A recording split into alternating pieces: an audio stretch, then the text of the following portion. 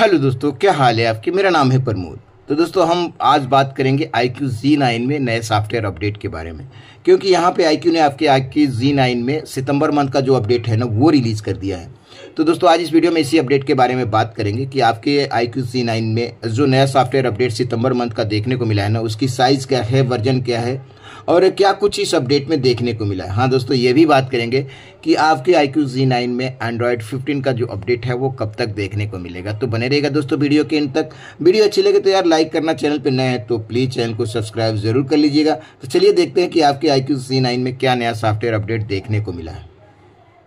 और बात करें दोस्तों आई क्यू जी नाइन में अपडेट की तो जो अपडेट जारी किया गया है ना, वो देख सकते हैं, उसका वर्जन आप यहाँ पे, वो है fourteen dot zero fourteen dot zero और साइज़ की बात करें तो दोस्तों, देख सकते हैं थ्री हंड्रेड एम के आसपास की साइज़ है।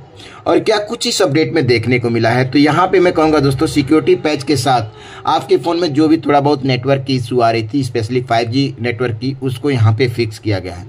बात करें दोस्तों अपडेट लॉक की तो आप देख सकते हैं सबसे पहले सिस्टम में आपके फ़ोन के सिक्योरिटी पैच को अपडेट किया गया है, जो कि सितंबर मंथ का है। तो ये काफ़ी अच्छी बात है कि आपके फ़ोन में रेगुलर सिक्योरिटी पैच का अपडेट देखने को मिल रहा है। वहीं पर बात करें दोस्तों, जो नेक्स्ट प्रॉब्लम फिक्स किया गया, उसकी तो कुछ थर्ड पार्टी एप्स जो थे, वो स्मॉल विंडो में प्रॉपर तरीके से काम नहीं कर रहे थे ना। उसको यहाँ पे फिक्स किया गया। आप देख सकते हैं।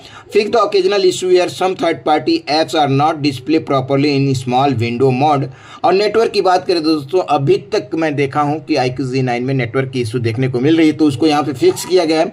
Optimize network adaptability and standby और कैमरे की बात करें दोस्तों तो एक तरह से कैमरे को और ऑप्टिमाइज किया गया है। थोड़ा बहुत जो शटर लैग देखने को मिल रहा था पहले ना, उसको यहाँ पे थोड़ा सा स्मूथ कर दिया गया। आप देख सकते हैं optimize the in smoothness of invoking the camera by the third party app to improve the camera experience of third party apps तो दोस्तों, ये तो रहा अपडेट की बात। अगर आपको ये अपडेट मिले तो आप अपने आई क्यू में इंस्टॉल कर लीजिएगा। बात करें दोस्तों कि आपके आई क्यू में एंड्रॉयड 15 का जो अपडेट है वो कब तक देखने को मिलेगा।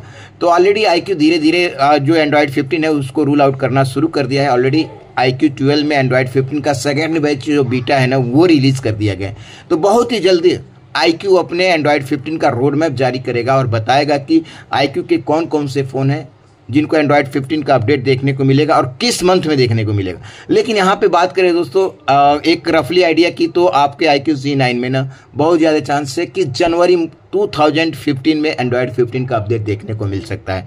तो दोस्तों, आज की वीडियो में बस इतना ही। वीडियो अच्छी लगी तो लाइक करिए। धन्यवाद।